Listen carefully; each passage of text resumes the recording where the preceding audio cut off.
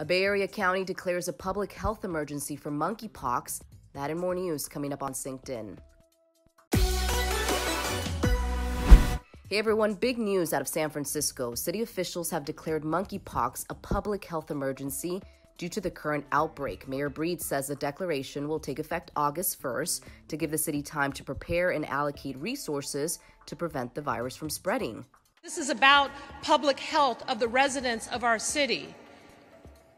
And so by sounding the alarm, what we're saying is this is not going to be ignored, that this is a public health crisis, that we are in desperate need of vaccines to support the people of San Francisco. The first case of monkeypox in San Francisco was reported on June 3rd. The city now has over 280 cases, according to Mayor Breed. In other news, here's a quick update on the oak fire burning near Yosemite. As of Thursday afternoon, the fire has charred more than 19,000 acres, has destroyed at least 116 homes and structures, and is 39% contained. You can check out the latest updates on our free app.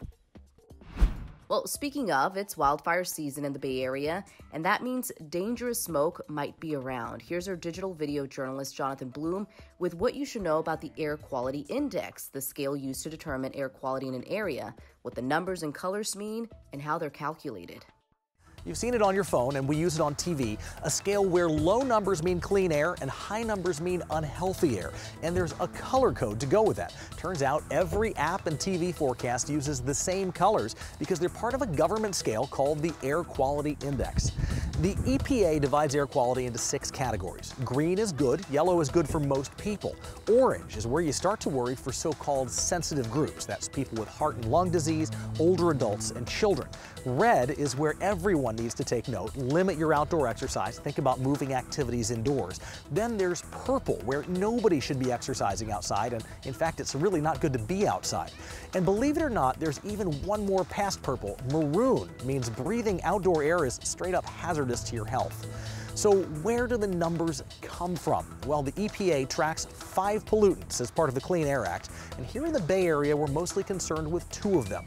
Ground level ozone, which mainly comes from cars, and fine particulate matter called PM 2.5, which comes from fireplaces and, yes, wildfires. You can watch the full explainer right now on NBCBayArea.com slash digital originals.